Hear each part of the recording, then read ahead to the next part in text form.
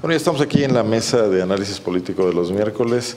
Es un gusto tener a Ramón Isaguirre como siempre y alguien que invitamos, alguien que viene llegando con una mirada fresca a nuestro estado después de haber estado estudiando, de haber pasado una temporada en el extranjero, en España concretamente, Ricardo Alexis Valencia, quien regresa con un máster en la Complutense de Madrid en temas de gobernanza, gobernanza democrática, ¿no? Eh, es el, tema de mi tesis, pero el máster es eh, Gobierno de Administración Pública. Muy bien. Viene siendo lo...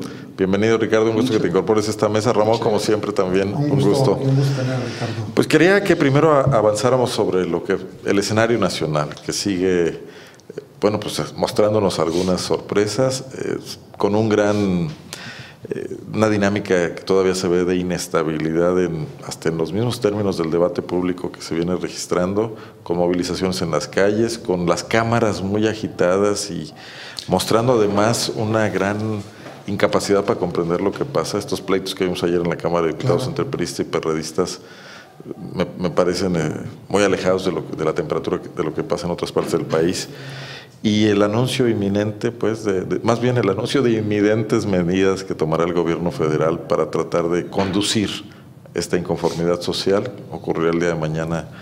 El presidente de la República ha venido ya lanzando el adelanto a través del secretario de Gobernación de que se van a conocer algunos nuevos, me imagino que programas o, o establecimiento de políticas públicas distintas a las que se han ejercido hasta ahora. Pero bueno, los dejo un poco para que conocer sus puntos de vista sobre todo esto. Yo te, yo te, diría que, bueno, es todo eso más lo que se acumula diario, ¿no? Porque, bueno, eh, el día de ayer, que, que, yo creo que repercute mucho en el ámbito nacional, ¿no? La renuncia de Cuauhtémoc Cárdenas al, PRD, que contra lo que han querido ver muchos perredistas, yo, yo me inscribo en que no es la renuncia de un militante, es la renuncia de un bastión mucho, muy importante dentro de, dentro de ese partido. Hoy, lo estaba diciendo Miguel Barbosa, el líder del, del PRD en el Senado.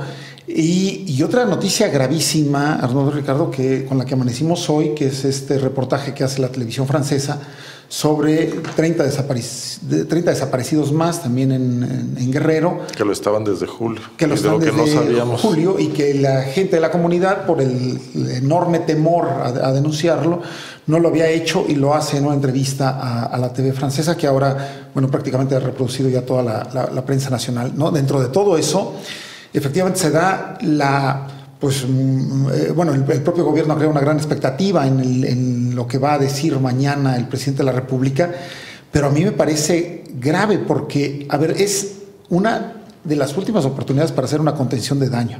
Si mañana el, eh, anuncio que, hace que haga Peña Nieto es muy corto, no cumple las expectativas de lo que como sociedad esperamos, esto puede todavía crecer mucho más. O sea, si se queda muy corto en esto que tú bien retratas, esta mala comprensión de todo el gobierno en, en lo que está ocurriendo, bueno, pues no va a abonar nada a la tranquilidad, ni a el esclarecimiento de las cosas, ni a la modificación de lo que ellos mismos han dicho, que es lo que está caminando mal desde la percepción de ellos, ¿no? Entonces, creo que es una apuesta mucho, muy cara y que, bueno, ya tendremos oportunidad de ir evaluando, ¿no? Ricardo. Gracias. Coincido. Eh, hay que cuidar que no se vaya acumulando. Es una cadena de sucesos que bien se pudiera, pudiera llegar a un, destino eh, no pronosticado. Hay que decirlo sin ambigüedad alguna, lo dijo el senador eh, Corral en la entrevista hace un momento. Hoy México, eh, la democracia, el sistema democrático del país vive una crisis de representatividad muy fuerte. Hay una falta de legitimidad, hay una profunda desconfianza ciudadana hacia las autoridades y representantes públicos. Entonces, como también lo dijo el senador, creo que así como eh, podemos ver esto como una crisis, a lo mejor eh, dimensiones no calculadas, también por qué no verlo como la oportunidad de modificar, eh, de abonarle un régimen político que hoy parece estar un tanto desgastado a través de, de, de medidas profundas al, al sistema, eh, siendo una de ellas, yo lo, yo lo comentaba, eh, ¿por qué no impulsar un modelo de gobernanza democrático diferente? En donde al ciudadano se le empodere verdaderamente, pero no a través de retóricas o narrativas, sino en acciones concretas que le permitan una injerencia directa. Pues algo parecido a lo que ocurrió con Reyes Heroles en la reforma del 86, eh, perdón, del 76. 76. Sí. Yo dudaría que hubiera tiempo en estos momentos para eso, porque se necesita un liderazgo democrático. Y hoy en día lo que está más cuestionado en el presidente Peña es eso, Primero por cómo llegó al poder. O sea, llegó con pocos votos, llegó con el 38% de los votos. Llegó con el cuestionamiento de su alianza con las televisoras, de, que hoy se muestra evidentemente en este tema de las, casas y, las, y, la, y la esposa, ¿no? Y en tercer lugar, con el tema del uso de dinero indiscriminado para la campaña, superando ampliamente los topes, dinero que no sabemos de dónde provino, ¿no? Y que se puso en evidencia en operaciones como la de Monex y como la de Soriana. Bueno, es, recuperó un poco el presidente la iniciativa después de las reformas, pero solo en combinación con los partidos políticos, no con la sociedad. No, hoy se ve eso muy claramente. Entonces, ¿de dónde puede sacar los recursos en este momento para plantear eso? Yo me temo que mañana lo que se anuncia será una serie de medidas que le provoquen al presidente y al gobierno federal mayores conflictos. Voy a referirme a una de ellas. El mando único en la policía. O sea, el mando único en la policía va a restarle poder a los gobernadores y a los alcaldes. Si el mando único se establece a través de los estados, bueno, podrá fortalecer a los gobernadores. Y si son gobernadores como Aguirre, tienes otro problema. ¿no? ¿quién va a garantizar que eso funcione? Porque además, como dice Ramón, es una medida para ganar tiempo y si resulta que opera en tu contra porque mañana hay un incidente gravísimo que vuelve a ser retratado en toda la prensa del mundo porque tu nuevo mando cometió una, una arbitrariedad o atentó contra derechos humanos, el tiempo se le agota, ¿no? Eh, más el tema de la del tráfico de influencias en el que está metido el presidente ahora con la denuncia de una nueva casa que utilizó como oficina alterna durante la campaña y en la presidencia, en la, etapa de transición de la presidencia, y lo más grave, no reportada al IFE y no expuesta en los gastos de la transición. Y de la misma constructora. De la misma constructora de la otra casa. Nos, deja el presidente en un estado de mucha debilidad como para intentar una maniobra política en el sentido de lo que ustedes dicen, de lo que tú estás diciendo más bien, Ricardo. Eh, Tienes toda la razón, pero o sea, no podemos soslayar también el hecho de que hoy en día México, la ciudad mexicana, eh, está más despierta. Las, las, movilizaciones de los días recientes, de los, de los dos últimos meses en particular, creo que sí pueden marcar, y también lo decías hace un momento, y no sé si decirlo, como un paradigma, un cambio en ese sentido. Lo que quieras decir. Pero sí creo que es un punto de inflexión en cuanto a que a la sociedad civil se le tiene que considerar de manera mucho más directa en los periodos de adopción de decisiones. Pero ya no como una elección del político, sino como una obligación, ¿no? Exactamente. Sí, o sea, ¿cómo, ligas esto? No? Yo, yo digo en mi artículo de hoy, Arnoldo, que lo que falta es, lo, lo que ha faltado es ese pacto entre, entre gobierno y, sociedad, ¿no? Y ese pacto que elimine, por ejemplo, un factor importantísimo. Yo creo que algo que ha generado una descomposición en, en todo lo que estamos viendo, incluso en, la, en cómo ha permeado el crimen organizado, al, gobierno, y, gobierno llámese priista, panista, perredista, eh, del color que sea, de, la regiduría que sea, eh, es la corrupción. ¿no? Lo, da el caso de Iguala, ¿no? este, eh, y lo da, vamos, es, es insisto, el denominador común. Y no ves ninguna medida contra la corrupción que además tendría que implicar la posibilidad de revisar del presidente de la República para abajo a cualquiera, ¿no? Y en este país, a diferencia de lo que pasa en Estados Unidos, de lo que pasa en Europa, de lo que pasa en muchos países democráticos, el presidente de la República en funciones puede ser investigado, ¿sí? Y bueno, pues está jugando a veces la chamba en esa investigación, pero eso le da una gran confianza a la ciudadanía de decir, a ver, ante determinados casos podemos investigar al propio presidente y no es, deja de haber intocables en esto. Yo creo que eh, si no hay eso, si es una reforma, bueno, si es un anuncio de forma, un poco retomando también lo que decía en la entrevista que le hiciste a, Javier Corral, y no de justicia, no solo, yo, yo mi augurio es muy este, pesimista. pesimista, no solo no va a servir de nada, sino puede calentar más los ánimos, o sea, a una sociedad que sentimos que nos están dando a tole con el dedo, ¿no? Exactamente, en, la cuestión de la violación a los derechos humanos, digo, también es un eh, tema preocupante.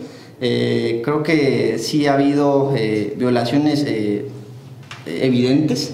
Entonces, en ese sentido, había que, digo, hay también que seguir, y creo que en el ojo del huracán, perdón, estará la CNDH.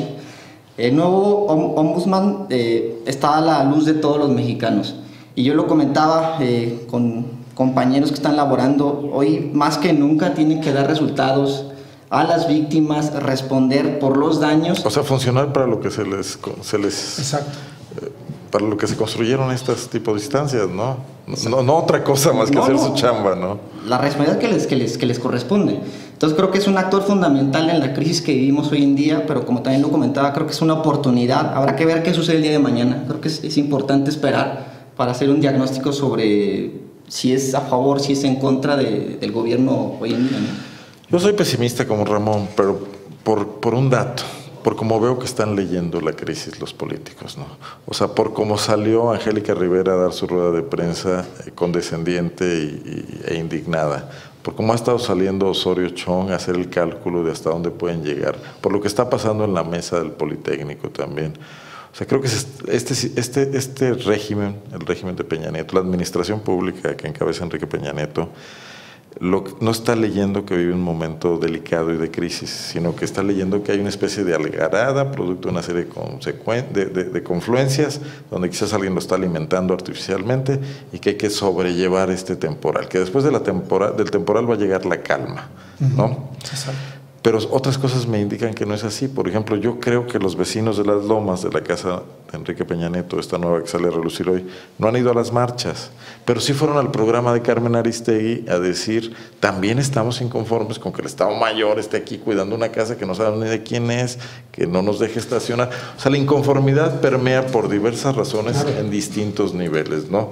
Y el gobierno no está leyendo eso, que hay un acumulado de hartazgo, solo lo está viendo como una cuestión medio temporal, medio que algunos funcionarios están equivocando. La salida de, de, Osorio a los medios esta semana me indica que alguien le leyó la cartilla. Le dijo, oye, usted está saliendo a defender al presidente y tiene que salir más. La de Manlio Fabio Beltrones ayer en la Cámara, en un debate insulso ahí entre diputados del PRI y del PRD, que no le veo sentido, porque resulta que están igual los dos metidos en el mismo lío. Claro. No son adversarios.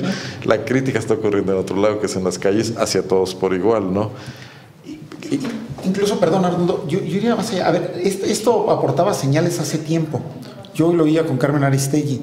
Los vecinos de las Lomas, en torno de esta segunda casa a la que hace referencia, se manifestaron en redes sociales. Hubo tweets de algunos de los vecinos pidiendo que el Estado Mayor presidencial no bloqueara la puerta de su casa, que no dejaran uh, tiradero, cosas por el estilo. Y nadie, nadie en el gobierno los escuchó, nadie vio con prepotencia, que como estaba solución. generando una molestia. Fueron, a, fueron al gobierno de la Ciudad de México Ajá. para tratar de impedir un cambio de uso de suelo. Que además el gobierno se los dio de una el gobierno de la Ciudad de México se los dio de una manera extrañísima, ¿no? En la madrugada, este, sin haber cumplido una serie de, de, de formalidades. Pero es una, es una inconformidad muy eh, pues, eh, creciendo, ¿no? Y cada vez, en la medida en que las inconformidades crecen, también es en la medida en que se radicalizan. Yo, yo lo comentaba contigo fuera del aire. No es solo un asunto, la radicalización es un, no solo un asunto de anarquistas, es un asunto también de hay, un, hay una voz de, parte, de, de, de esta parte de la sociedad que está pidiendo ir más allá. ¿sí? y que tienen y que es la voz de estos inconformes también, no, no de los desestabilizadores, diría alguien este, de oficio, ¿no? Exactamente, el, el clamor es, es, es, es, alto y como lo he venido diciendo, creo que puede cobrar un rumbo no calculado de dimensiones eh, que puede ser de, insospechadas, eh, me atrevo a decirlo así. Entonces, afortunadamente, y retomando, eh, la sociedad civil hoy cuenta con herramientas como las redes sociales. La sociedad civil hoy en día está al pendiente de la gestión pública a todos los niveles. Entonces, aquí temas de transparencia, lo vienen diciendo también eh, el, el, tema de la casa, eh, falta de, de, liderazgo, el tema de Cárdenas tampoco me parece un tema trivial, creo que la lectura es, es, es de fondo, más allá de los puestos o no que ha tenido en los últimos años, es un líder, un liderazgo que tenía el partido liderazgos que hoy en día a niveles eh, de esos tamaños no tenemos. Entonces creo que hay temas transversales de corrupción, de transparencia, de impunidad, de negligencia, de negligencia. o de infuncionalidad de los, de los sistemas. A ver, el, este asunto nuevo en Cocula. O sea, el procurador eh, Murillo Caram ha salido a decir, en cuanto nos enteramos salimos, en cuanto se le ha echado en cara que contra Barca había denuncias desde muchísimo tiempo antes y no hizo nada. Ajá. Hoy que sale lo de Cocula y en caso de comprobarse, ¿por qué de eso no se sabía nada? O sea, esa región, igual y Cocula, ha estado invadida de fuerzas federales desde hace mes y medio, Ajá. ¿no? Sí. No es posible que nadie, los cuerpos de inteligencia del gobierno mexicano, del ejército, de la marina, nadie se haya enterado de que había 31 niños secuestrados en Cocula y bueno, ni los periodistas, que también debería ser una autocrítica, los periodistas mexicanos, y hoy los revienta una televisora francesa. O sea, ¿en qué país vivimos, no? Exacto, en el que se puede sustraer de manera forzada. No hay una averiguación previa. Y nadie, nadie se entera, ¿no? O sea, o sea, ¿y qué régimen de terror viven esas gentes que son incapaces de denunciar porque los amenazaron?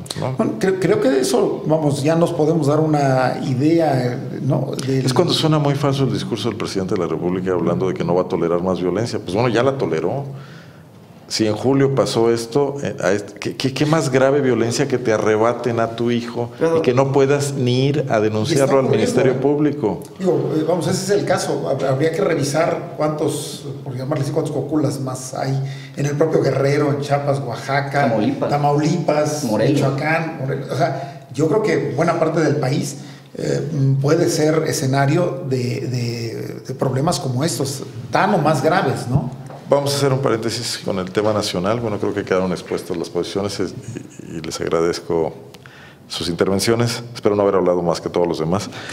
Pero vamos a hacer una pausa para ir a revisar la escena local.